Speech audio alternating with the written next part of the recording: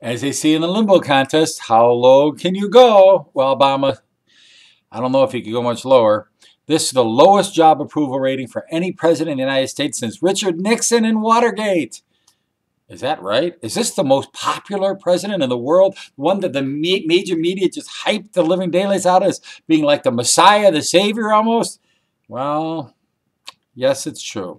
And in his fifth year, that's where they're measuring it, the most popular president or unpopular president for his fifth year in office.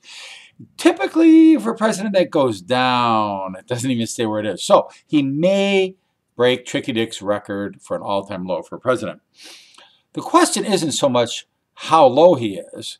The question is, why are people putting up with this and why are the Republicans not impeaching him? Nobody's bringing up impeachment proceedings, and it says slam dunk. He's not popular. He's shredded the Constitution. What are we waiting for? I don't understand. Something doesn't fit.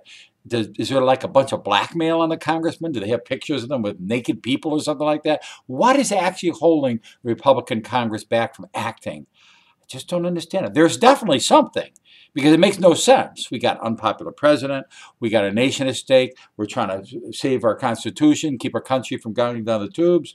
Either the Republican Party isn't what they pretend to be, or there's something, shall we say, clandestine happening behind the scenes.